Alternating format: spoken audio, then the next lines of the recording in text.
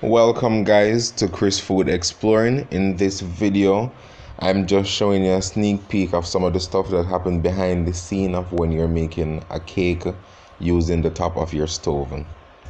Guys if you really like this video please click the like subscribe share um, recommend your friends to the channel and please don't forget to comment down below and let me know if you'd like to see the full video of this the full version for this video.